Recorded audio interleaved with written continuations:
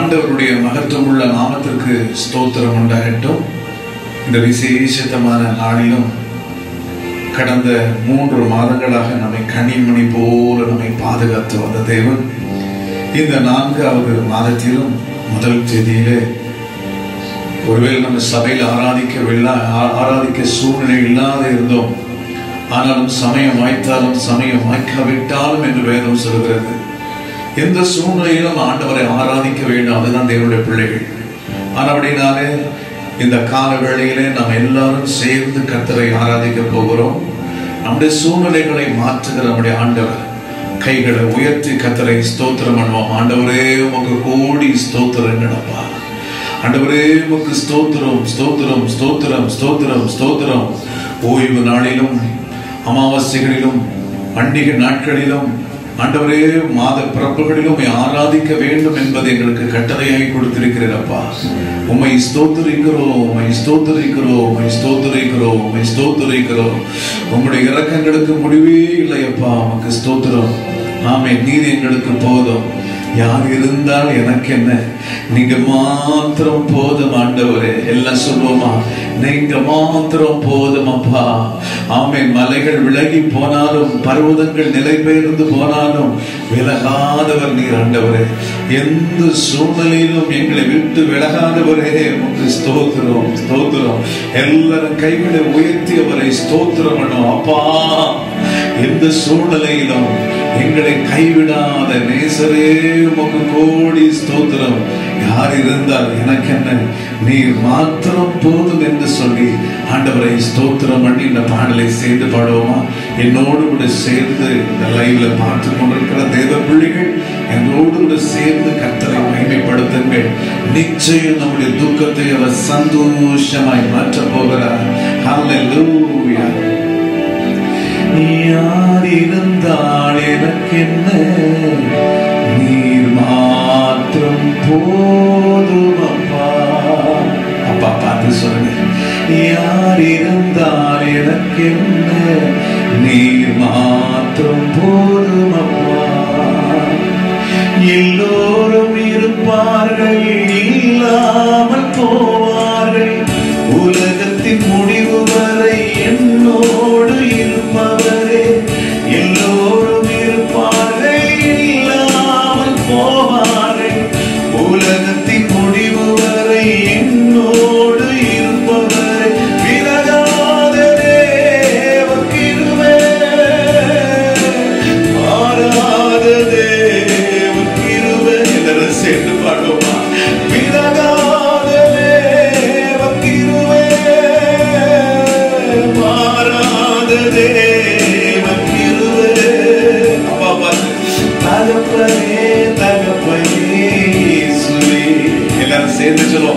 சொல்லுவோம் தகப்பனே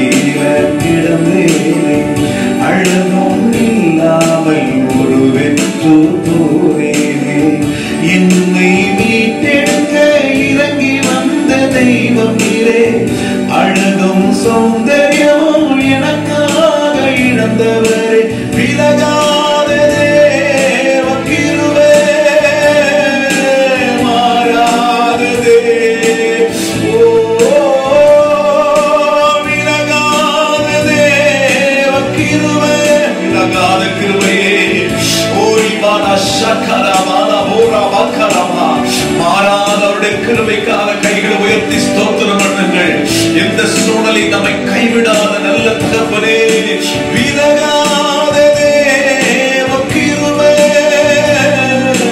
மாறாத தேவ கிருபை தகப்பனே தகப்பனே இயேசுவே என் தகப்பனே தகப்பனே. எல்லாம் சொல்லுதப்பா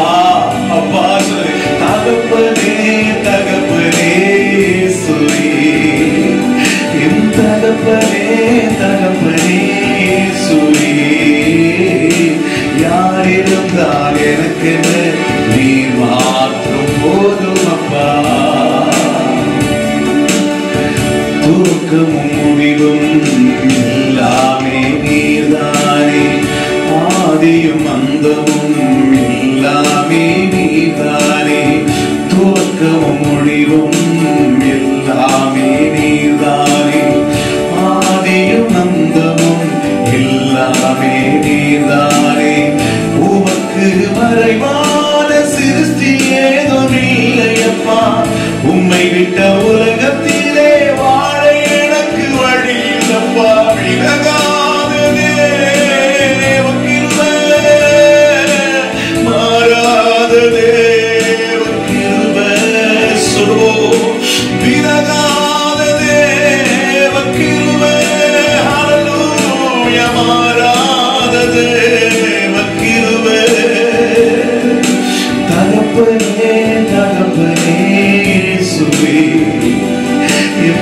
தகப்பனே தகப்பனே இயேசுவே.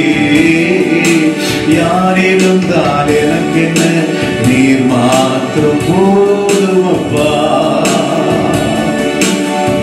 என் அன்பு சகோதர சகோதரிகளே இந்த உலகத்தில் நம்மை மனிதர்கள் நம்மை விட்டு சூழ்நிலைகள் மாறும் பொழுது நம்மை விட்டு விலகி விடுவார்கள் தாவிதை சொல்லும் பொழுது அறுபத்தி ஒன்பதாவது சங்கீதத்தில் வாசிக்கும் பொழுது நிந்த என் இருதயத்தை பிளந்தது. நான் மிகவும் வேதனைப்படுகிறேன். எனக்காக பரிதவிக்கிறவர் உண்டோ என்று நான் காத்திருந்தேன். ஒருவரும் இல்லை. தேர்தலுக்காக காத்திருந்தேன். ஒருவரையும் காணேன். சங்கீதம் முப்பத்தி ஒன்றில் தாவிது சொல்லும் பொழுது சொல்கிறார் செத்தவனை போல் எல்லாரும் நான் முழுமையாய் மறக்கப்பட்டேன். உடைந்து போன பாத்திரம் போலானே என் அன்புக்குரியவர்களே சூழ்நிலை மாறும் பொழுது மனிதர்கள் நம்மை விட்டு விலகுவார்கள். யோபுடைய மனைவி கூட யோபுடைய சூழ்நிலை கண்டு யோபை வெறுத்து நீ அந்த தேவனை தூசித்து ஜீவனை விடு என்று சொல்லி எப்படியாக யோபி விட்டு விலக வேண்டும் என்று சொல்லி அவர் எச்சரித்தார். இப்படித்தான் உலகம். ஆனால் எந்த சூழ்நிலையிலும் நாம் ஆராதிக்கிற தேவன் ஒரு நாளும் நம்மை கைவிடவே மாட்டார். ஒரு நாளும் நம்மை கைவிடவே மாட்டார்.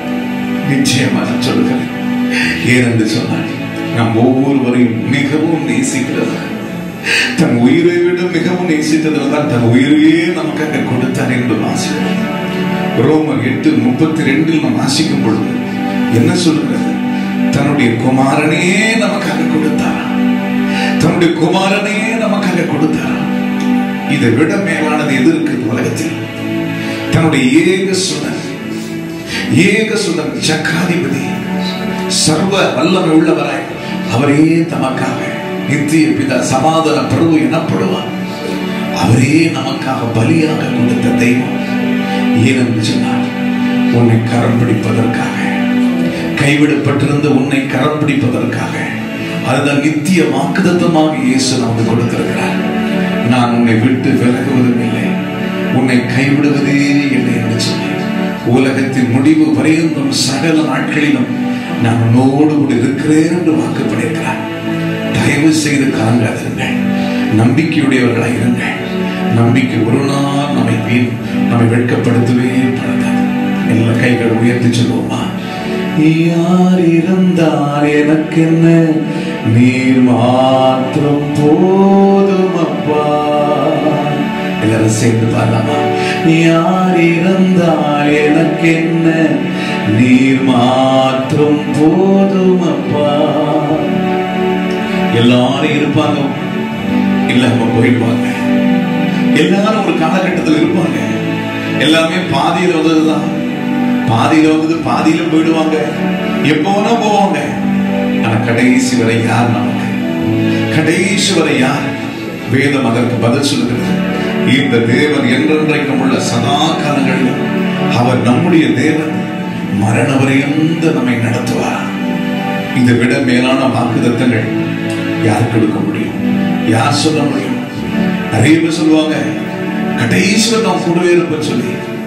எல்லாம் விலகி போய்விடுவார்கள் சங்கீதம் எழுபத்தி ஆறு ஐந்து சொல்லுகிறது எல்லா மனுஷனுடைய கைகளும் அவர்களுக்கு உதவாமல் போனதாம்.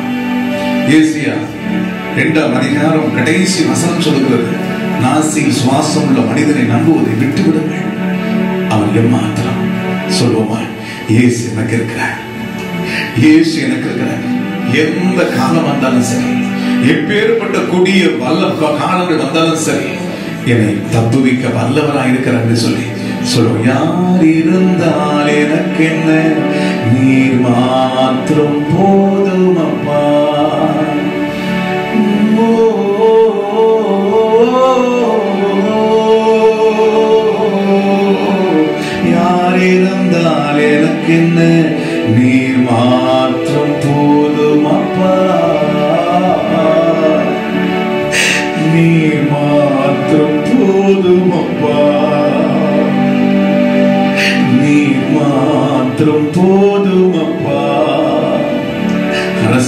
அரசாங்கம் கூட கைவிடுவதில்லை அரசாங்கம் தெரிந்து கொண்டிருக்கிற யாராவது உதவி செய்யுங்கள். உதவி செய்யுங்கள் என்று சொல்லு ஆனா இக்கட்ட நாளிலே மனிதனுடைய உதவி விரதா என்று வேதம் சொல்கிறது தாவிது சொல்லும் பொழுது எனக்கு ஒத்த ஆசை வரும் பர்வதங்களுக்கு நேராக என் கண்களை இருக்கிறேன் வானத்தையும் பூமி உண்டாக்கின தேவடத்திலிருந்து எனக்கு ஒத்தாசை வரும். கவலைப்படாதீங்க. அவருடைய நாமம் தணிக்கப்பட்ட ஒவ்வொரு பிள்ளைகளுக்கும் தேவன் ஒத்தாசை அனுப்பி நமக்கு திருப்தியாக்குவார். நம்முடைய தேவைகளை சந்திப்பான் நம்முடைய எல்லா சூழ்நிலைகளும் மாற்றுவான் நம்முடைய இருளை வெளிச்சமாய் மாற்றுவான் ஓ என் நாமத்துக்கு பயப்படுற உங்கள் மேல் நீதி சூரியன் உதிக்கும் அப்படி செட்டைகளுக்கு கீழ் ஆரோக்கியம் இருக்கிறது. அப்படி செட்டைகளுக்கு கீழ் ஆரோக்கியம் இருக்கிறது. நீங்கள் வெளியே புறப்பட்டு கொடுத்த கன்றுகளை போல் வளருவீர்கள் என்ற வாக்குதங்கள் இருக்கிறது. எதை குறித்து நீங்கள் கவலைப்படாமல் தேவர்கள் மேல் நம்பிக்கையுடையவர்களாக இருங்கள். நம்பிக்கையுடைய சிறைகளை அரணுக்கு திரும்ப ரெட்டிப்பான நன்மை அவர் கொடுக்க போகிறார். கைகளை உயர்த்தி சொல்லுவோமா? யார் இருந்தால் எனக்கு என்ன? நீ மாத்திரம் போதும் அப்பா. நீர் மாத்திரம் போதும் அப்பா எல்லோரும் இருப்பார்கள் இல்லாமல் போவார்கள். உலகத்தின் முடிவு வரை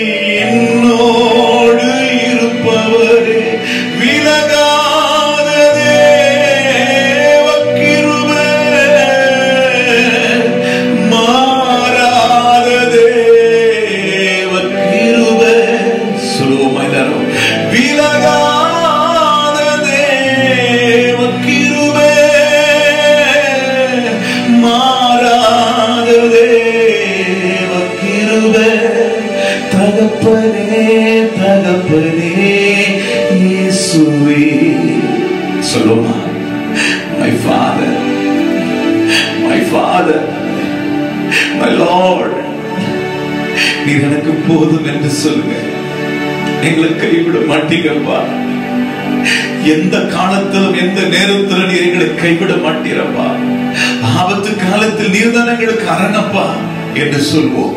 அவரை நோக்கி கூப்பிடுவோம். அவர் நிச்சயம் நமக்கு பதில் கொடுப்பார். நிச்சயம் நம்முடைய தேவைகளை சந்திப்பார். ஆல் கிரியேட்டட் ஆல் கிரியேட்டட் அவர்தான். எல்லா ஜீவன்களுக்கு ஆகாரத்தை கொடுக்கிறவர். எல்லாருக்கும் சுகத்தை கொடுப்ப சுகம் என்றால் அவர் கையில் தான் இருக்கிறது. ஜெயம் என்றால் அவர் கையில் தான் இருக்கிறது. ஆசீர்வாதம். Everything பரத்திலிருந்து நமக்கு ஜெயத்தை கொடுப்பார். பரத்திலிருந்து நமக்கு நன்மையை கொடுக்க போகிறார். நிச்சயம் அவரை நோக்கி கூப்பிடுற ஜனங்களுக்கு ஒத்தாசை அனுப்புவாரா? அவரை நோக்கி கூப்பிடுற ஜனங்களுக்கு ஒத்தாசை அனுப்புவாரா? கைகளை உயர்த்தி சொல்லுமா யார் இருந்தால் எனக்கு என்ன நீர் மாத்திரம் போதும் அப்பா. நீர் மாத்திரம் போதும் அப்பா. நீர் மாத்திரம் போதும் அப்பா. இயேசுவே நீர் எங்களுக்கு போதும் அப்பா. நீர் எங்களுக்கு போதும். என் கிருபை உனக்கு போதும். அப்படிதானே பவுல பார்த்து சொல்லி என் கிருபை உனக்கு போதும். உன் பலவீனத்தில் என் பல பூரணமாய் விளங்கும். ஓ மைட்டி ஹalleluya ஆண்டவர் கொடுத்த எல்லா பிராமிஸான வார்த்தைகளுக்காக ஸ்தோத்திரம் பண்ணுவோம். ஹalleluya இன்னொரு பாடலை கூட சேர்ந்து நம்ம ஆண்டவரை ஆராதிப்போம். சோர்ந்து போகாதீங்க. ஆண்டவர் சொன்ன சோர்ந்து போகாமல் எப்போதும் ஜெபம் பண்ணுங்க சோர்ந்து போகாமல் எப்போதும் கர்த்தரை துதிப்போம். நிச்சயமாக நம்பிக்கையின் வாசல் உண்டாகும். ஆமே ஓசியா ரெண்டாம் அதிகாரம் பதினைஞ்சாவது வசனத்தில் வாசிக்கிறோம் நம்பிக்கையின் வாசல் நமக்கு கத்து திறக்குப்பா வனாந்தரமான சூழ்நிலையோ அடைக்கப்பட்ட சூழ்நிலையோ ஐயோ என் வாழ்க்கையில எந்த ஒரு வழியுமே இல்லை என்று சொல்லி கலங்கி கொண்டிருக்கிறாயோ கத்தை இன்றைக்கு உங்களோடு பேசுகிறார். நம்பிக்கையின் வாசலை கத்திர உண்டாக்குவார். நம்பிக்கை வாசலாக ஆகோரின் பள்ளத்தாக்கி கொடுக்க போகிறார். பள்ளத்தாக்குகள் எல்லாம் தானியங்களாக மூடப்பட போகிறது. நம்முடைய கண்ணீர்களை அவர் துடைக்க போகிறார். எல்லாரும் சேர்ந்து இந்த பாடலை பாடுவோமா? சோர்ந்து போகாதே சோர்ந்து போகாதே. சோர்ந்து போகாதே. நீ சோர்ந்து போகாதே. தேசமே. தேசத்தின் குடிகளே கத்தரை நோக்கி பாருங்கள். சோர்ந்து போக மாட்டீங்க. அவர்கள் அவரை நோக்கி பார்த்து பிரகாசம் அடைந்தார்கள் ஓ ஹalleluya ஓ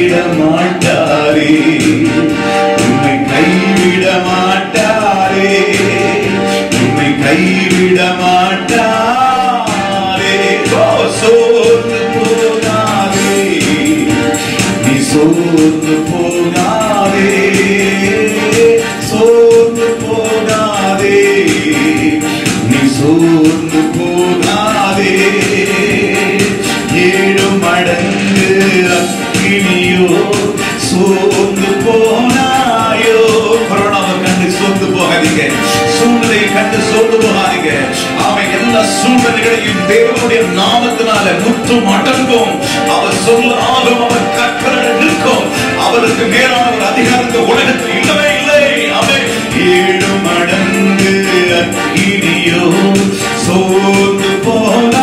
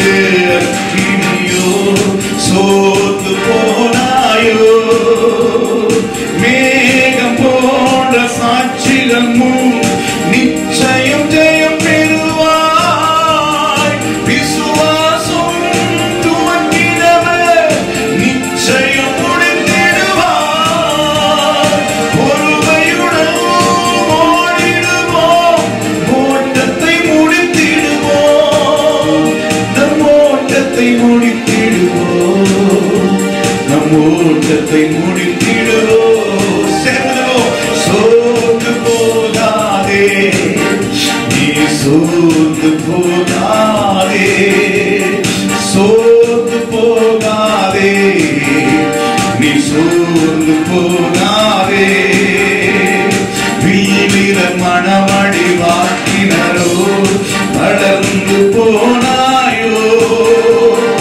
யோசிப்பை வில் வீரர்கள் மனமடி வாங்கினார்களா? ஆனால் யோசிப்புடைய வில் ஆமை உறுதியாக நின்றது என்று வாசிக்கிறோம். யோபு இருபத்தி ஒன்பது இருபதில் நாம் வாசிக்கிறோம். என் மகிமை என்னை செலுத்தும். என் கையில் உள்ள வில் புது பலன் கொண்டது. கத்தர் உங்க வில் பலன் கொள்ள போகிறது. நீங்க பலமே பலத்துமே பலன் அடைந்து ஆமே நாமே கழுதை போல சக்திகள் அடித்து உயர எழுத போகிறீங்க. கைகளை உயர்த்தி சொல்லுவோமா? வில் வீர மணமடி வாக்கினரோ சோர்ந்து போனாயோ? அண்ணாவை மனமடி வாக்கினார் ஆனால் அண்ணா சோர்ந்து போகல. அண்ணா தன் இருதயத்தை ஊற்றி செவித்த போது அவை பலவான் முறிந்தது என்று வாசிக்கிறோம். இன்றைக்கு உனக்கு விரோதமாக இருந்த வில் வம்புகள் உன்னோடு கூட போராடுகிற பயங்கள் உன் காலங்களுக்கு விரோதமாக இருக்கிற எல்லா சத்துருடைய கிரிகளை தேவன் வேறறுத்து போடுவார். வீரர் மனமடி சோர்ந்து போனாயோ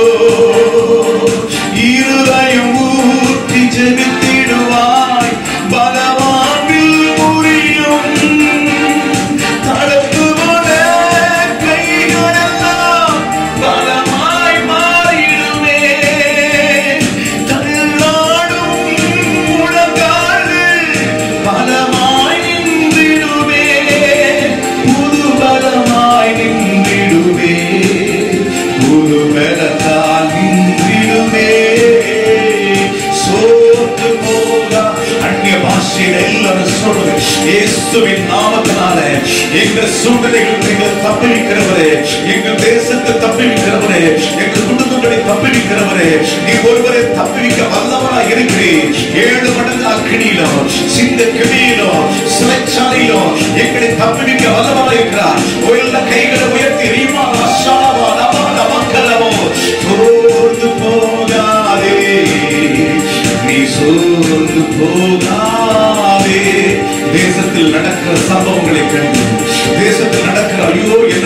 நடக்க என்று சொல்லி என்ன நடந்தாலும் உனக்கு ஒண்ணுமே நடக்காது. அதில் சொல்லுகிறேன் உலகமே கொந்தளித்து வந்தாலும் ஜல பிரயாணம் வந்து வாரி வந்து இப்போ தேசத்தில் வந்தாலும் உன்னை அணுகவே அணுகாது என்று வேதம் சொல்கிறது. ஓ சோர்ந்து போகாதே. நீ சோர்ந்து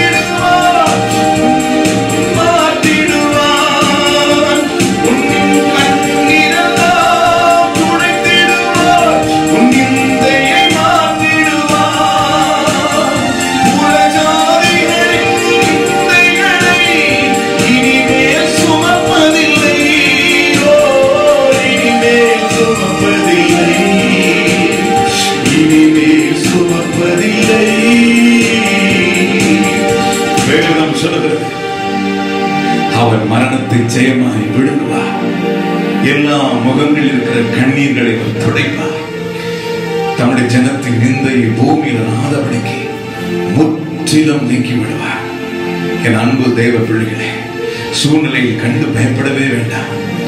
உலகமே கொந்தளித்து வந்தாலும் சரி என்ன வந்தாலும் சரி பெருங்காற்று பெருமழை பெரு வெள்ளம் இந்த வீட்டின் மேல் நம்முடைய தேசத்தில் அடிச்சாலும் உங்க வீடு உடையவே உடையாது. நீ கண்மலை மேல் கட்டப்பட்டிருக்கீங்க. ஆமென்.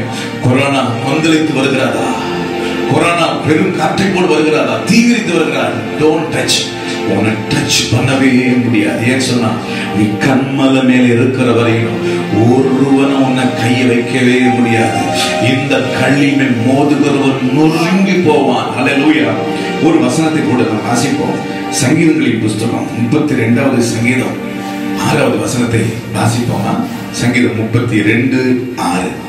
இதற்காக சகாயம் கிடைக்கும் காலத்தில். இதற்காக சகாயம் கிடைக்கும் காலத்தில். பக்தி உள்ளவன் எவனும்? பக்தி உள்ளவன் எவனும்? உம்மை நோக்கி விண்ணப்பம் செய்வான். என் அன்பு சகோதர சகோதரிகளே நாம் நெருக்கத்தின் காலத்தில் இருக்கிறோம். குடிய காலத்தில் இருக்கிறோம். ஆண்டவர் வேதம் சொல்லுகிறது பக்தி உள்ளவன் எவனும்?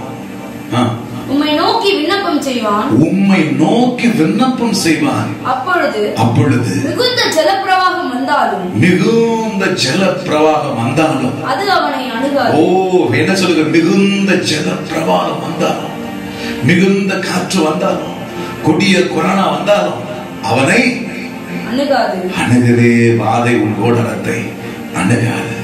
பொல்லாப்பு உனக்கு நேரிடாது. எல்லா கைகளை உயர்த்தி சொல்லுவோமா? சோர்ந்து போகாதீர்கள் திடன் கொள்ளுங்கள் ஆண்டவர் சொன்னார் நான் உலகத்தை ஜெயித்தேன். நான் உலகத்தை ஜெயித்தேன். நீங்களும் ஜெயிப்பீர்கள் கொரோனாவை ஜெயிப்பீங்க. இந்த உலகத்தில் எந்த சக்தி இருந்தாலும் அதை ஜெயிக்கக்கூடிய வல்லமை உங்களுக்குள் இருக்கிறது. மறந்து போகாதீர்கள் கைகளை உயர்த்தி ஒரே ஒரு பழைய பாடலை சேர் சோர்ந்து போகாதே. அழலோயா ஆமே சோர்ந்து போகாதே. மனமே சோர்ந்து போகாதே. கன்றுனை அழைத்த தேவன் கைவிடுவாரோ? சென்று சோர்ந்து போகாதே.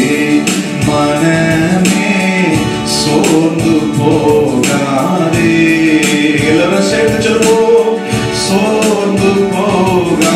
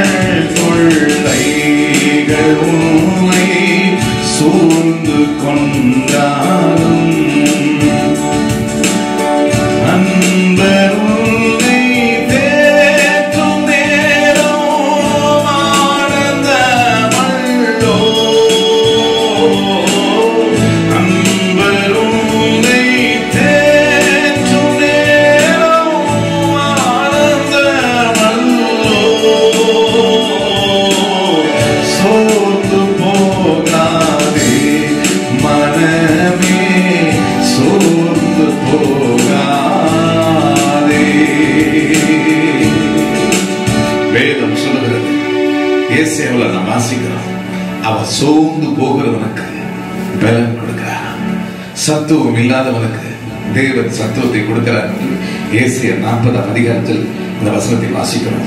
வாசிப்போம். சோர்ந்து போகிறவன் அவர் சோர்ந்து போகிறவனை. அவர் பலன் கொடுத்து சோர்ந்து போகிறவனுக்கு பலன் கொடுத்து. சத்துவம் இல்லாதவனுக்கு சத்துவம் இல்லாதவனுக்கு. சத்துவத்தை பெருக பண்ணுகிறார். சத்துவத்தை பெருக பண்ணுகிறார். ஹalleluya இவ்வளவு பெரிய அருமையான வாக்குத்தத்தம் பாருங்க அவர் சோர்ந்து போகிறவனுக்கு என்ன கொடுக்கிறாரா? பலன் கொடுத்து பெலன் கொடுக்கிறார். பெலன் கொடுக்கிறார். இருபத்தி ஒன்பது பதினொன்று கூட அப்படிதான் சொல்லுகிறது. கத்த தம்முடைய ஜனத்துக்கு பலன் கொடுத்து அவருடைய ஆசீர்வதிப்பார்? என் அன்பு சகோதர சகோதரிகளே இந்த ஒன்றாம் தேதி ஏப்ரல் ஒன்றாம் தேதியில நம்முடைய துக்கத்தை சந்தோஷமாய் மாற்றி ஆமை நம்முடைய உபத்திரவத்தின் குகையிலிருந்து நம்ம வெளியே கொண்டு வந்து நம்மளை சந்தோஷப்படுத்த போகிறார். இந்த நிகழ்ச்சியை பார்த்து கொண்டிருக்கிற அன்பு பிள்ளைகளை வெளிநாடுகளிலும் வெளி தேசங்களிலும் பார்த்து கொண்டிருக்கிறேன். ஐயோ, வீட்டிலிருந்து வெளியே வர வர முடியவில்லை என்று சொல்லி மிகுந்த பயத்தோடு இருக்கிற பிள்ளைகளுக்கு நான் சொல்கிறேன் நிச்சயம் ஹalleluya கத்திரங்களை வெளியே கொண்டு வருவார். யோபு இருபத்தி ஒன்பது மூன்றின் படி இருளில் இருந்து வெளிச்சத்துக்கு தெய்வங்களை கொண்டு வருவார். நிச்சயம் வெளிச்சத்துக்கு வரும் பொழுது மகிழ்ச்சியும் சந்தோஷத்தை கத்த பெருக பண்ணி உங்களை ஆசீர்வதிப்பார். நிச்சயம் இந்த ஏப்ரல் மாசம் உங்களுக்கு ஒரு வெற்றியின் மாதமாக ஜெயத்தின் மாதமாக சோர்விலிருந்து கலக்கத்திலிருந்து பயத்திலிருந்து நடுக்கத்திலிருந்து கர்த்தர் வெளியே கொண்டு வந்து நீங்க வெளியே புறப்பட்டு கொழுத்த கன்றுகளை போல வளருவீர்கள். அதுதான் வேதம் சொல்லி நாமத்துக்கு பயப்படுகிறேன் உங்கள் மேல் நீதியின் சூரியன் உதிக்கும். அது செட்டைகளுக்கு கீழே ஆரோக்கியம் எந்த வாதையும் அந்த செட்டைகளுக்குள்ள வரவே முடியாது. உன்னதமானுடைய மறைவில் இருக்கிறவன் சர்வ வல்லவருடைய நிழலில் தங்குவார் நமக்கு பாதுகாப்பை கத்த நிச்சயம் கொடுப்பார். வீட்டுக்குள் அடைந்திருக்கிற நீங்கள் நிச்சயம் வெளியே வர போறீங்க இதுக்கு பிறகு நாம் கொடுத்த கன்றுகளாக ஆவிக்குரிய வாழ்க்கையில் ஒரு பெரிய வளர்ச்சியாக கத்து கொடுத்து நமக்கு சந்தோஷப்படுத்த போகிறார். பாழாய் கிடக்கிற தேசம் ஏதேனை போல மாறப்போகிறார். மகிழ்ச்சியும் சந்தோஷத்தை கற்றுக் கொடுத்து உங்களை ஆசீர்வதிக்க போகிறார். உங்கள் துக்கம் சந்தோஷமாய் மாறும். God bless you. God bless you. Amen. உள்ள நாமத்திற்கு ஸ்தோத்திரம் உண்டாகட்டும். இவ்வளவு நேரம் நம்ம ஆண்டவரை ஆராதனை செய்தோம். இப்பொழுதும் நம்முடைய வார்த்தைகளினால் நம்மை திருப்தியாக்குவார். மனுஷன் அப்பத்தில் மாத்திரமல்ல தேவனுடைய வாயிலிருந்து புறப்படுகிற ஒவ்வொரு வார்த்தையினாலும் அவன் பிழைப்பான் என்று எழுதியிருக்கிறார். இந்த கால சூழ்நிலை மிகவும் மோசமான ஒரு சூழ்நிலை. இந்த உலகமே பயமும் திகிலும் கலக்கமும் நெருக்கமும். இன்னைக்கு உலகமே சகாயத்தை தேடுறாங்க. யார் எங்களுக்கு சகாயம் பண்ணுவாங்க. இன்னைக்கு கவர்மெண்ட் எல்லாம் அரசாங்கம்லாம் ஏதா ஏதாவது எங்களுக்கு உதவி செய்யுங்கள் என்று சொல்லி அவங்களே கையை விரிக்கிற அளவுக்கு எதாயிரம் கொடுங்கள் என்று சொல்ற அளவுக்கு இல்ல உலக நாடு முழுவதும் எதாயிரம் யாராயிரம் கொடுப்பாங்களான்னு சொல்லி ஏங்கி கொண்டிருக்கிறாங்க. யோசித்து பாருங்க.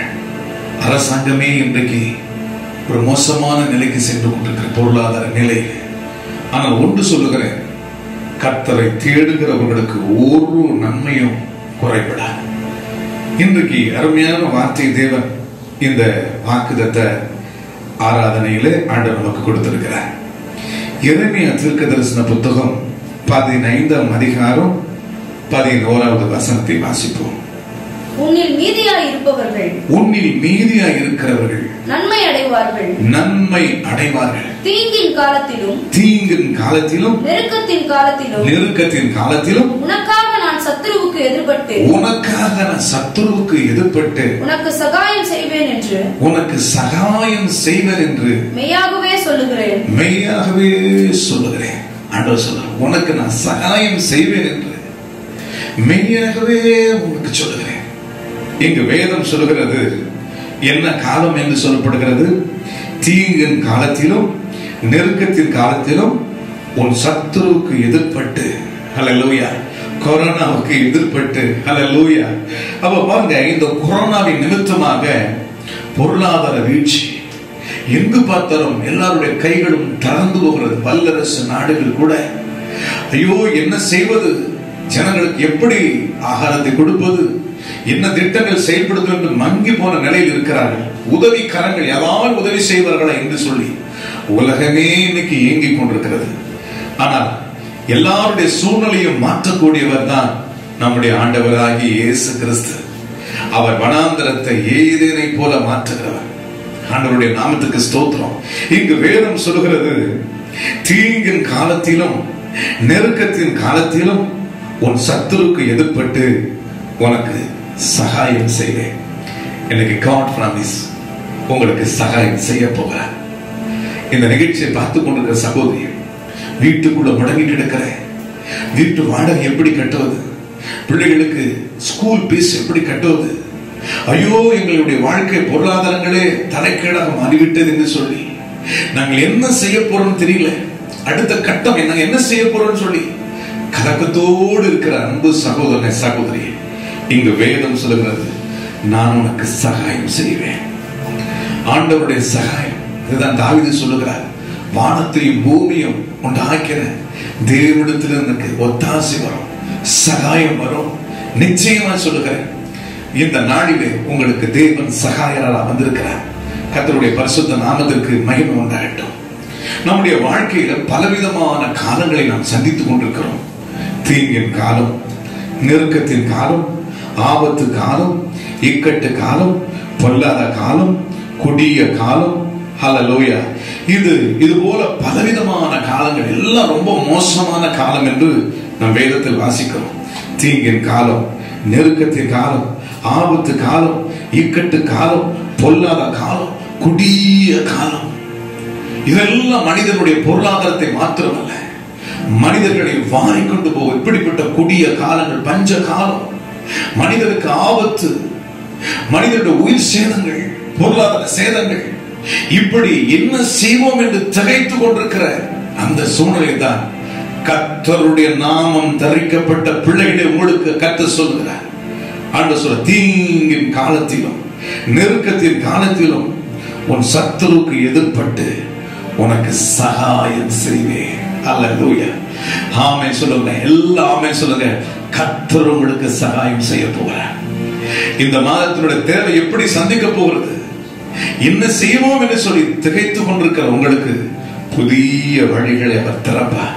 அவாந்தர வழிகளை அவர் ஆறுகளை உண்டு பண்ணுகிறார் ஒன்றும் இல்லாமல் ஒன்றை உருவாக்குற சர்வ சக்தி உடைய தேவன் தான் நம்முடைய ஆண்டவராகிய இயேசு கிறிஸ்து.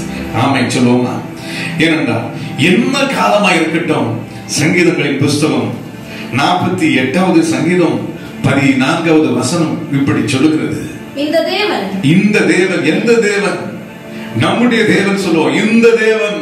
என்று அல்லேலூயா உலகத்தில் எத்தனையோ தேவர்கள் இருக்கிறார்கள். எத்தனையோ தெய்வங்கள் இருக்கிறார்கள்.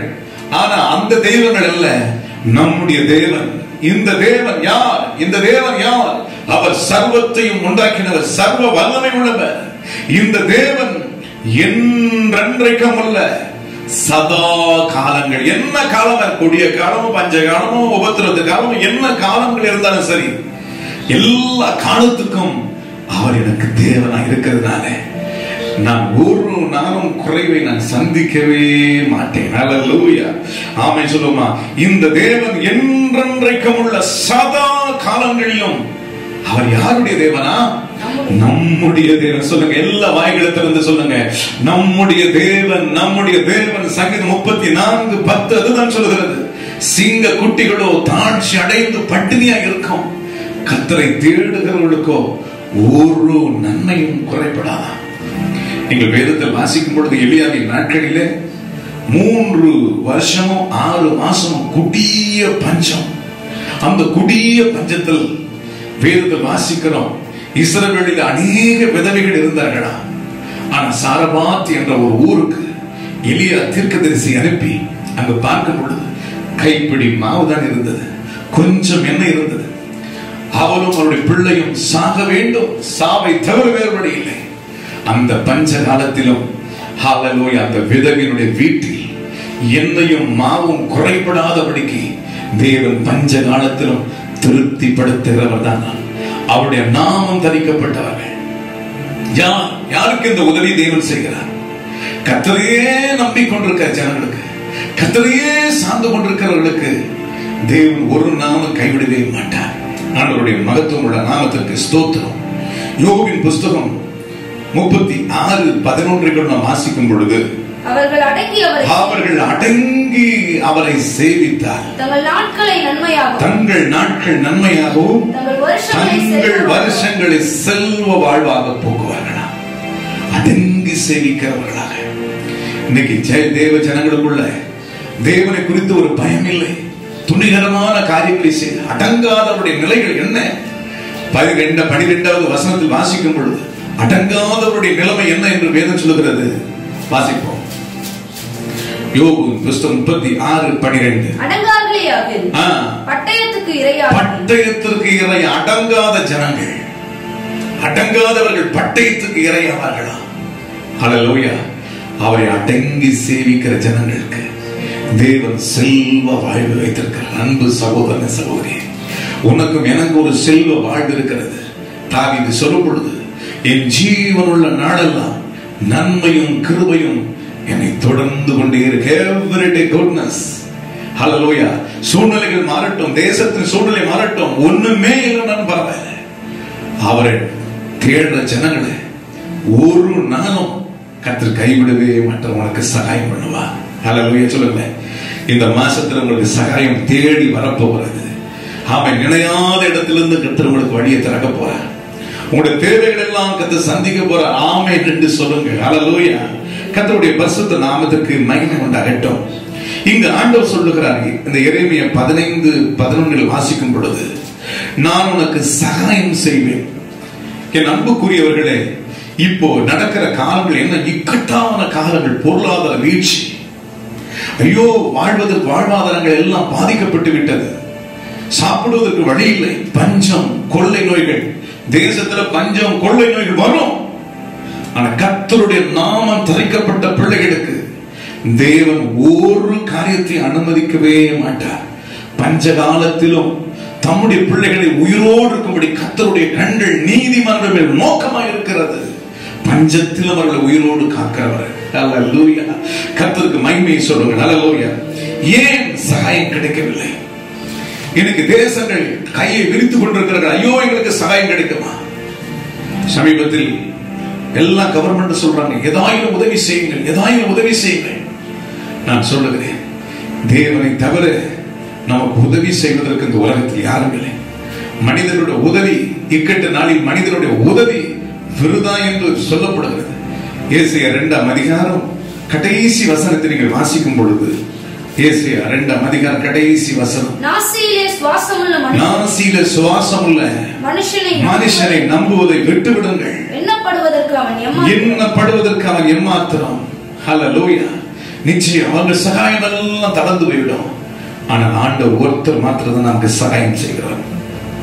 என் அன்புக்குரியவர்களே இன்னைக்கு ஏன் தேவ ஜனங்களுக்குள்ளும் தேசத்துக்குள்ளும் சகாயம் இல்லை என்று சொன்னால் இன்னைக்கு நான் ஒண்ணு சொல்றேன். கத்தருடைய பிள்ளைகளுக்கு எந்த காலத்திலும் எந்த வேளையிலும் ஆண்டவர் சகாயம் பண்ண அவரை தீவிரிப்பார். தாவிதை சொல்லும் பொழுது கர்த்தரின் மேய்ப்பலா இருக்கிற நான் தாழ்ச்சி அடைய தாழ்ச்சி என்பது கிடையாது. என்று சொன்னது அவரே நமக்கு மேய்ப்பனா இருக்கிறதுனால. அவரை ஆராதிக்கிற ஜனங்கள் அவருடைய நாமத்துக்காக வைராக்கியம் உள்ள ஜனங்களை தேவன் ஒரு நாளும் சகாயம் அதாவது சகாயம் பண்ணி அவங்களை திருப்தி ஆக்கிறவராக இருக்கிறார் கத்தருடைய பசுத்த நாமத்துக்கு ஸ்தோத்திரம் உண்டாயிட்டோம். ஏன் இன்றைக்கு சகாயம் ஜனங்களுக்குள்ள கிடைக்கவில்லை என்று சொன்னால் நாம் இன்றைக்கு உணரும் சில வசனங்களை உணர்ந்து நம்ம தேவன் பக்கமாய் திரும்ப பொழுது இந்த இக்கட்டு காலத்தில் கர்த்தர் உங்களுக்கு சகாயம் செய்ய போகிறார். நீங்கள் ஏசையா திருக்கு தரிசன புத்தகம் முப்பத்தி ஓராம் அதிகாரம் ஒன்றாவது வசனத்தை நீங்கள் வாசித்து பாருங்கள். சகாயம் அடையும்படி இஸ்ரவேலுடைய பரிசுத்தரை நோக்காமல் கர்த்தரை தேடாமலும் கர்த்தரை தேடாமலும் எகிப்துக்கு போய் எகிப்துக்கு போய் குதிரைகள் மேல் நம்பிக்கை வைத்து குதிரைகள் மேல் நம்பிக்கை வைத்து ரதங்கள் அநேகமாய் ரதங்கள் அநேகமாக இருக்கிறபடியினால் அவைகளை நாடி அவைகளை நாடி குதிரை வீரர். குதிரை வீரர். மகா பலசாலிகளா இருக்கிறபடியினால் அவர்களை நம்பிக்கொண்டிருக்க அவர்களை நம்பி கொண்டிருக்க நம்பி கொண்டிருக்கிறவர்களுக்கு ஐயோ my dear sister my dear brother உனக்கு சகாயம் வேண்டும் என்றா எங்க யாரை தேடணும்? நீங்க தேட வேண்டியதை தேடல. எங்கெங்கயோ மனுஷனுடைய கை எங்க ஆளு யாராவது கொடுப்பாங்களா? ஐயா எனக்கு உதவி செய்வீங்களா? இன்னைக்கு அப்படிதான் கூப்பிடுறாங்க. இன்னைக்கு கோடிக்கணக்கான மக்கள் அப்படிதான். இன்னைக்கு கோடிக்கணக்கான பிச்சைக்காரர்கள் கோடிக்கணக்கான விதவைகள் கோடிக்கணக்கான ஏழைகள் மனுஷனையே பார்த்து கொண்டிருக்க ஏதாயிரம் கிடைக்குமா? ஐயோ பிரபுக்கள் அவங்கள போன பணக்காரங்க அவங்க எதாவது கிடைக்குமான்னு பார்க்கலாம். நான் முன்பு சொல்லுறேன் சகாயம் அடையும்படிக்கு இஸ்ரவேலின் பரிசுத்தரை நோக்கி பாருங்கள். இந்த இக்கட்டு காலத்தில் அவரை நோக்கி பாருங்கள். அவரை நோக்கி பார்த்து அவருடைய முகம் பிரகாசம் அடைந்தது முகம் வெட்கப்பட்டு போவதே போனதே இல்லையா? ஹalleluya எங்க வேதத்தில் வாசிக்கிறோம். சகாயம் அடையும்படி இஸ்ரவேலின் பரிசுத்தரை நோக்காமல் எங்கு போனார்களாம்? எகிப்துக்கு போனார்களாம். எகிப்து என்பது உலகம். இந்த உலகத்தில் உங்களுக்கு சத்தியமா சொல்ற சகாயம் உனக்கு வராது. இந்த உலகம் இந்த உலகத்தில் உள்ளவைகளெல்லாம் பிசாசனுடைய ராஜ்யமா இருக்கிறது. வேதத்தில் வாசிக்கிறோம். இந்த உலகமே எப்படி இருக்கிறது என்று இறைமை இருபத்தி மூன்று பத்தில் வாசிக்கிறோம். உபோ தேசம் விபச்சார காரர்களால் நிறைந்திருக்கிறது. ஹalleluya உலகம் தேசத்தினால் துக்கத்தினால் நிறைந்திருக்கிறது வாசிக்கிறோம். ஹalleluya கர்த்தருடைய பரிசுத்த நாமத்துக்கு மகிமை உண்டாயிட்டோம் சகாயம் யாரை தேடி போக வேண்டும். இஸ்ரவேல் பரிசுத்தரை நோக்குங்க. இந்த இக்கட்டான சூழ்நிலையில அவர் உங்களுக்கு சகாயம் பண்ணுவார். அவர் உங்களுக்கு உதவி செய்வார். வழிகள் திறக்கப்படும். நிச்சயமா சொல்றேன். ஆமென். ஏசாயா முப்பத்தி ஒன்றாம் அதிகாரம் மூன்றாவது வசனம் என்ன சொல்கிறது? எகிப்திய தெய்வம் அல்ல. மனுஷர் தானே அவருடைய குதிரைகள் ஆவி அல்ல.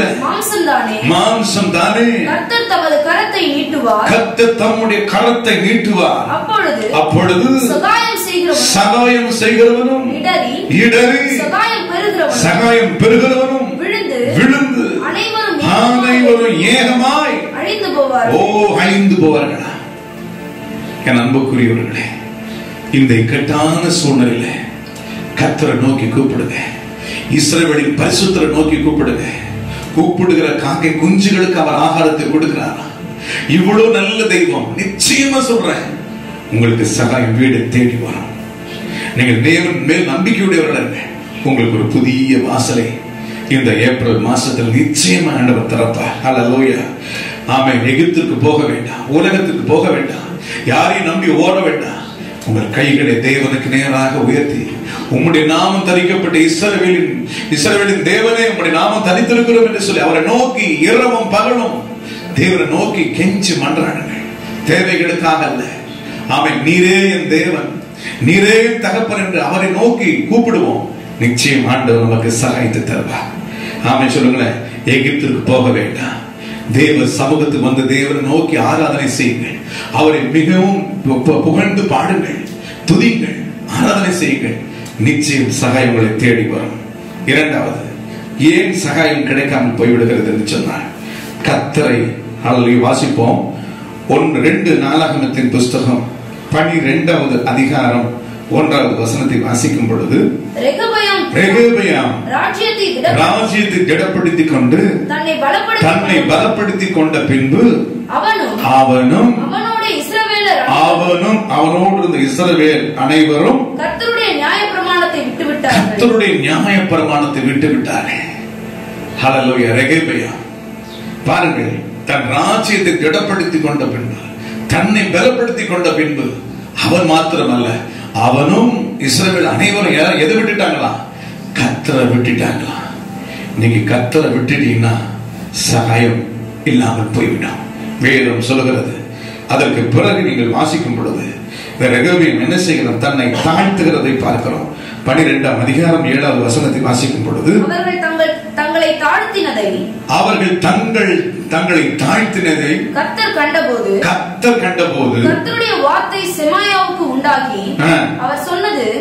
அவர்கள் தங்களை தாழ்த்தினார்கள் அவர்கள் தங்களை தாழ்த்தினார்கள் ஆகையால் அவர்களை அழிக்க மாட்டேன் ஆகையால் அவர்கள் அடி அழிக்க மாட்டேன் என் உக்கிரம் என் உக்கிரம் சீஷாக்கை கொண்டு எருசலேமின் மேல் ஊற்றப்படாதபடிக்கு.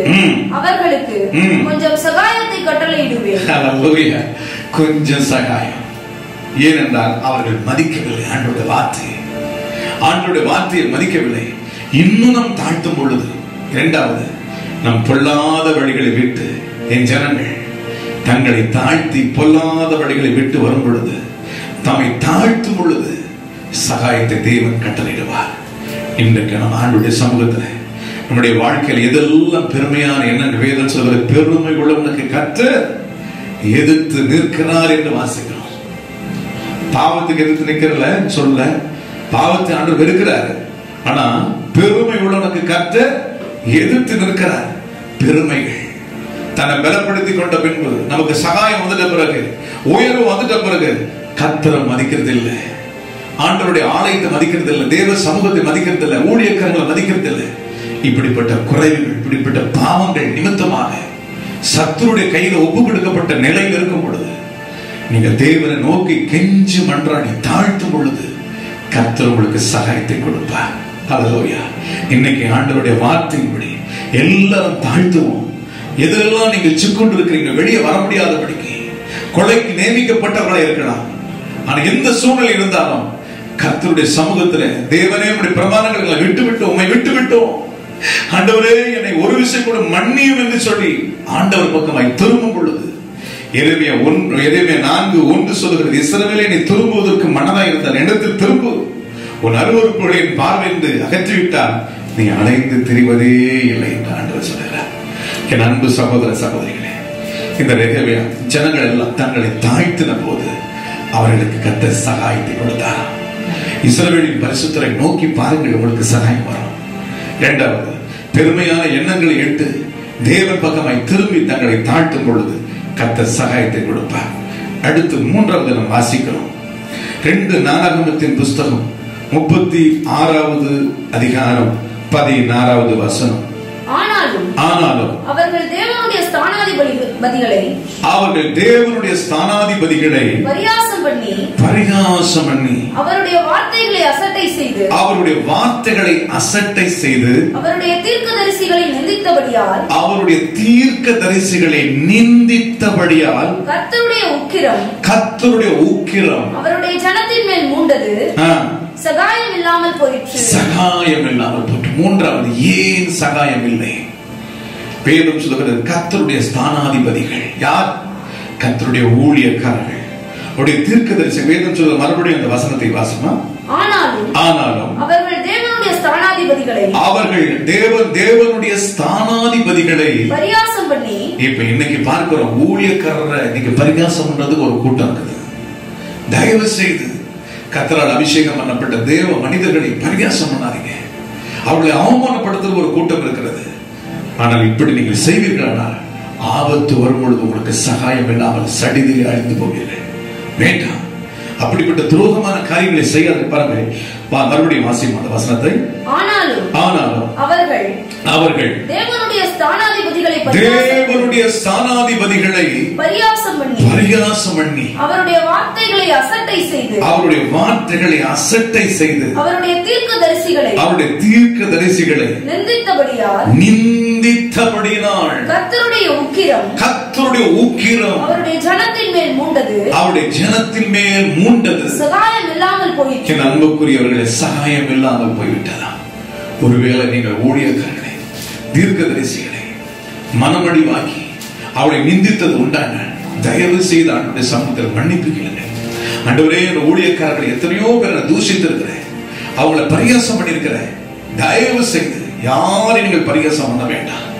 தேவனால் தெரிந்து கொள்ளப்பட்ட ஒவ்வொரு தேவ மனிதர்களையும் நீ பரிகாசம் பண்ண வேண்டாம். அற்பமாக என்னாதீர்கள் எந்த பாவத்து நிமித்தம் சகாயம் கொட்டும் கோபத்தினால் சகாயத்தை இழந்து போனார்கள். ஒருவேளை இப்படிப்பட்ட சகாயத்தை இழந்து போயிருக்கிறாயா? இன்றைக்கு ஆண்டவர் எச்சரிக்கிறார். ஆண்டுடைய சமூகத்தில் மனம் திரும்பி ஊழியக்காரர்களின் தீர்க்க தரிசிகளையும் அவமானப்படுத்தாமல் அவருடைய வார்த்தையை அசட்ட பண்ணாமல் ஆண்டவரே என்னை இந்த பாவத்தை எல்லாம் மன்னியும் என்று சொல்லி நீங்கள் அறிக்கையிடும் பொழுது கத்தவங்களை தாழ்த்தும் பொழுது கர்த்தர் உங்களுக்கு சகாயத்தை நிச்சயமா இந்த வருஷத்துல இந்த மாதத்துல கர்த்தர் உங்களுக்கு தொடர்ந்து ஆசீர்வதிப்பார். நான்காவது சுருக்கமா நான் சொல்லி முடிக்க விரும்புகிறேன். நான்காவது சகாயம். இப்ப நாம் இருக்கிற காலம் கொடிய காலம். இக்கட்டான ஒரு சூழ்நிலை. அன்றைக்கும் எஸ்தரின் புஸ்தகத்தில் நாம் வாசிக்கும் பொழுது நூத்தி இருபத்தி ஏழு நாடுகளை ஆண்ட மகாராஜா இருக்கிற அரசியல் ராஜாவின் நாட்களிலே யூதர்களுக்கு விரோதமாக ஆமான் என்ற துஷ்ட மனுஷன் பொருளாத பிசாசி நாவியை பிடித்தவன் அவர்கள் யூதர்களை பழி வாங்கும்படியாக யூதர்களை கொள்ளும்படியாக ராஜாவிடத்தில் சட்டத்தை எழுதி வாங்கிக் கொண்டு ஒரு குறிப்பிட்ட நாளிலே இந்த அத்தனை யூதர்களையும் இந்து தேசம் முதல் எத்தியோப்பியா பட்டணம் வரையிலும் நூற்றி இருபத்தி ஏழு நாடுகளில் இருக்கிற யூதர்களை கொலை செய்ய வேண்டும். அவருடைய குடும்பங்களை எரி கலமாய் மாற்ற வேண்டும் என்று சொல்லி சட்டத்தை எழுதி வாங்கிக் கொண்டார். நூத்தி இருபத்தி ஏழு நாடுகள் இருக்கிற யூதர்கள் எல்லாருக்கும் பயம். இன்னைக்கு எப்படி கொரோனாவில் பயம் இருக்கிறதோ எல்லா வீடுகளுக்குள்ள குமிரி அழுது கொண்டிருந்தார்கள். உபவாசம் பண்ணி அழுது கொண்டிருக்கிறார்கள். ராஜாவுடைய சட்டம் எல்லா இடத்துக்கும் பாய்ந்து விட்டது. இந்த குறிப்பிட்ட நாட்களில் ஒரு யூதர்கள் கூட இருக்க போவதில்லை. ஆடு மாடு உடைமைகள் எல்லா சொத்துக்களும் சூறையிடப்பட வேண்டும். இப்படிப்பட்ட சூழ்நிலையில் தான் மரதகாய் எஸ்தரை பார்த்து சொன்னார். இந்த நாளில் நீ மௌனமா இருக்காதே இந்த நாளில் நீ மௌனமா இருந்தால் யூதருக்கு சகாயம் ரட்சிப்பும் வேறு இடத்தில் வரும். என் அன்பு சகோதர சகோதரிகளே தொடர்ந்து நமக்கு சகாயம் வர வேண்டும் என்றால் இந்த கடைசி நாட்களே இப்படிப்பட்ட இக்கட்டான நேரங்களிலே உபவாசித்து ஜெபம் பண்ணுங்கள் கத்த நிச்சயமா சொல்றேன் உங்கள் மூலம் சகாயத்தை கற்றுக் கொடுப்பார். இந்த வசனத்தை வாசிப்போமா?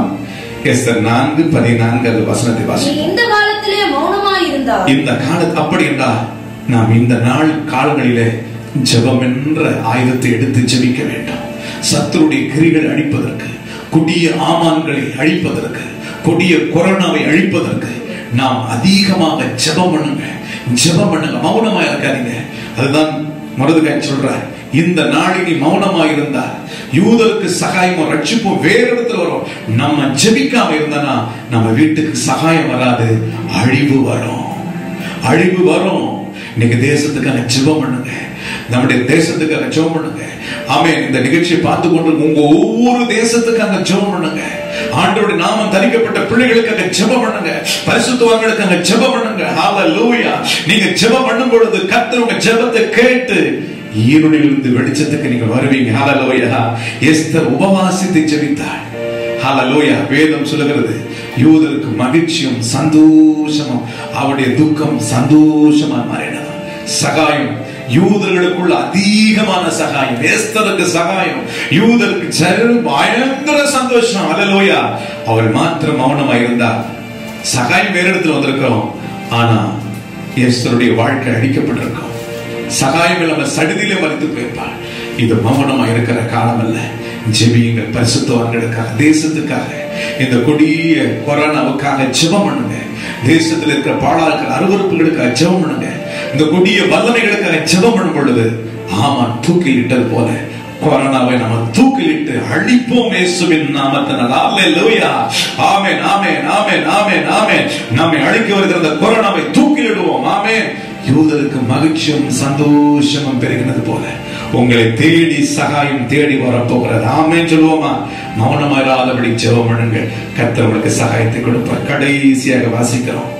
ஹalleluya ஆண்டவருடைய நாமத்துக்கு ஸ்தோத்திரம். ஏழைகளுடைய ஜெபத்தை அவர் கேட்கிறார். சங்கீதங்களின் புஸ்தகம் பத்தாம் அதிகாரம் நான்காவது பதினான்காவது வசனத்தை வாசிப்போம். அதை பார்த்திருக்கிறீரே. உபத்திரவத்தையும் குரோதத்தையும் கவனித்திருக்கிறீரே.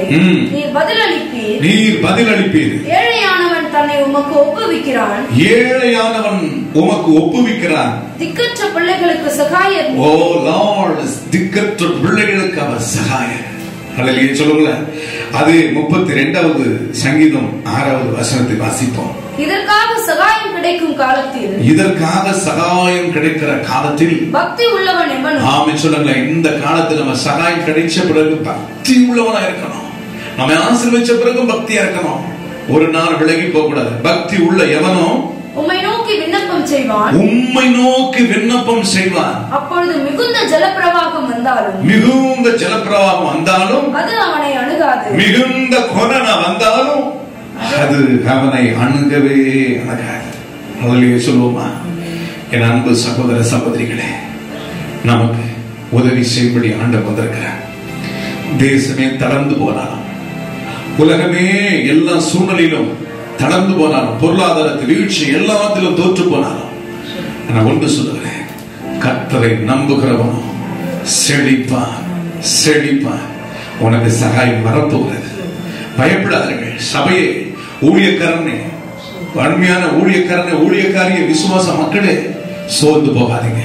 கத்தர் உங்களுக்கு சகாயத்தை கொடுக்க போகிறார். இப்படிப்பட்ட காலத்தில் தீங்கின் காலத்தில் நெருக்கத்தின் காலத்தில் உன் சத்துருவுக்கு எதிர்பட்டு உனக்கு சகாயம் செய்ய போகிறேன் நம்முடைய தேவனை மாத்திரம் சார்ந்திருப்போம் எல்லாரும் ஆண்டு பக்கமாய் திரும்புவோம்.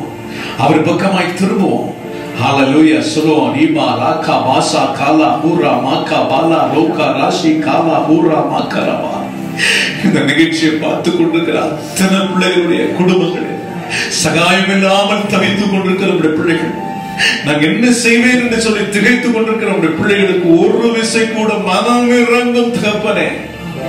மனம் இறங்கும் அப்பா சகாயம் செய்கிற கேடகமே என்று வாசிக்கிறோமே. ஆமே நீங்க சகாயம் பண்ணுகிறவரப்பா. எங்க தேசத்துக்கு சகாயம் பண்ணுறப்பா எங்க குடும்பங்களுக்கு சகாயம் பண்ணுங்க. உங்களுடைய நாமம் தரிக்கப்பட்டு இந்த ஜபவேளையில காத்து கொண்டிருக்கிற ஒவ்வொரு குடும்பத்திலும் சகாயம் தேடி வரட்டும் இயேசுவின் நாமத்தினால். ஒத்தாசைகள் தேடி வரட்டும் இயேசுவின் நாமத்தினால் அப்பா. இந்த ஒளி இந்த விசேஷ இந்த நிகழ்ச்சியை பார்த்து கொண்டிருக்கிறேன். அன்று ஒவ்வொரு தேசங்களிலும் பார்த்து கொண்டிருக்கிற பிள்ளைகளுக்கு சகாயம் தேடி வரட்டும் அப்பா. தளர்ந்து போனுடைய கைகள் எல்லாம் பலப்படட்டும் அப்பா. புதிய வழிகளையும் புதிய வாசல்களையும் பரலோகம் திறந்து தரும்படியே ஜெபிக்கிறோம் அப்பா.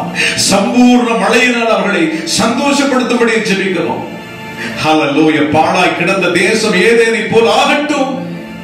துக்கம் சந்தோஷமாய் மாறட்டும் அப்பா மாறட்டும். இந்த சூழ்நிலைகள் எல்லாம் சீக்கிரத்தில் மாறட்டும் கைகளை உயர்த்தி.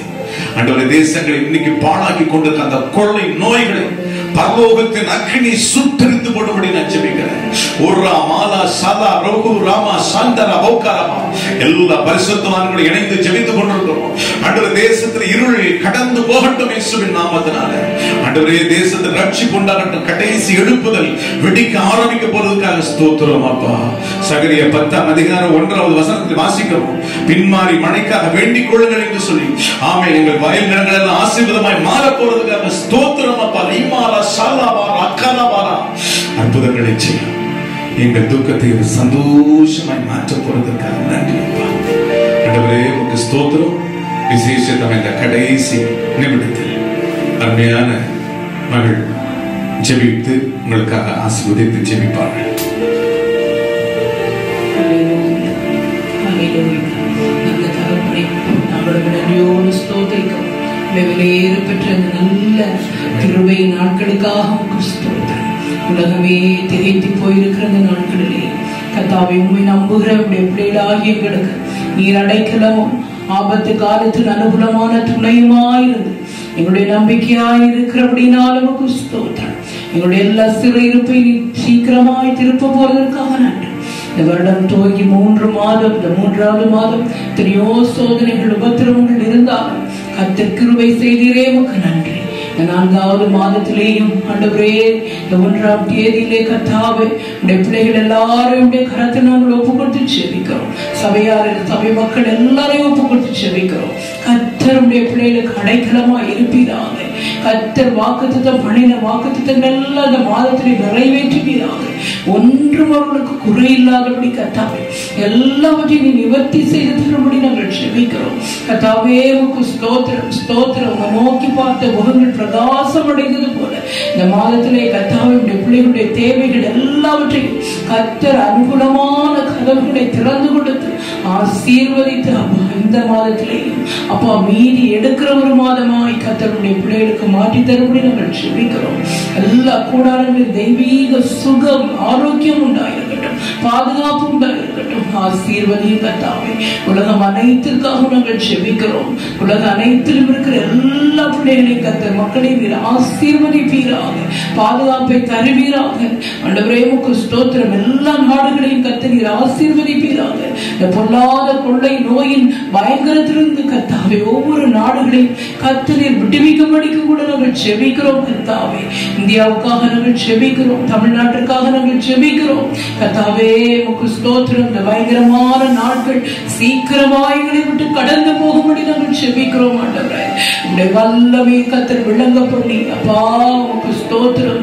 தேசத்தினுடைய மகிமையை உடைய ஆளுகையின் கத்தனீர் வெளிப்படுத்தும்படி நாங்கள் செபிக்கிறோம் அப்பா உமக்கு ஸ்தோத்திரம். இந்த நாட்களில் சபைகளை நாங்கள் நினைவு கூறுகிறோம். கத்துடைய ஊழியக்காரர்களை நாங்கள் நினைவு கூர்ந்து செபிக்கிறோம்.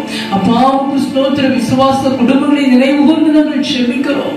கத்தாவே உமக்கு ஸ்தோத்திரம். எல்லா சூழ்நிலைகளையும் கத்தர் மாற்றி தரும்படி நாங்கள் செபிக்கிறோம். அப்பா உமக்கு ஸ்தோத்திரம். மக்கு நாங்கள் காத்திருக்கிறோம் அப்பா. உங்களுடைய செட்டைகளை அடித்துக் கொண்டு நாங்கள் உயரே எழும்பும்படிக்கு இந்த நாட்களிலே வல்லமையினாலும் தேவ பலத்தினாலும் ஒவ்வொரு தேவ பிள்ளைகளையும் கத்தர் நிரப்பும்படி நாங்கள் செபிக்கிறோம் சோர்வான எல்லா இருதயங்களையும் கத்தர் எடுத்து போடுவீராக பலப்படுத்துவீராக. தொடர்ந்து உடைய கரமாத்திரம் எங்களோடு கூட இருக்கட்டும் வழி நடத்தட்டும். ஏசுவி நாமத்தில் பிதாவே. நிச்சயமாய் உங்களுக்கு சகாயத்தை தேவன் தரப்போகிறார். இந்த நிகழ்ச்சியின் மூலமாக உங்களை பார்ப்பதிலே மிகுந்த சந்தோஷம். விசுவாச மக்களுக்காகவும் கத்தரை துதிக்கிறோம். நாம் ஆண்டுடைய வருகை தாமதமானால் சீக்கிரத்தில் நேரடியாக பார்த்து தேவனை பயன்படுத்துவோம். நாங்கள் இதை செல்போன் மூலம் தான் எடுத்தோம். எங்கள் கேமராக்கு அந்த இன்னும் வழிகள் திறக்கப்படலை. தொடர்ந்து செவித்துக் கொள்ளுங்கள். கத்தனுடைய ஆசிர்வதிப்பாராக. நமக்கு எல்லாருக்கும் சகாயத்தை கொடுத்து ஆண்டு ஆசீர்வதிப்பார். மே காட் பிளஸ் யூ எல்லாம் சொல்லுவோம் என் ஆத்மாவே கத்தரை ஸ்தோத்திரி என் முழு உள்ளமே பரிசுத்த நாமத்தை ஸ்தோத்திரி. என் ஆத்மாவே கத்தரை ஸ்தோத்திரி. அவர் செய்த சகலவர்களை மறவாதே. ஆமே உங்கள் துக்கம் சந்தோஷமாய் மாறும் God bless you. Amen.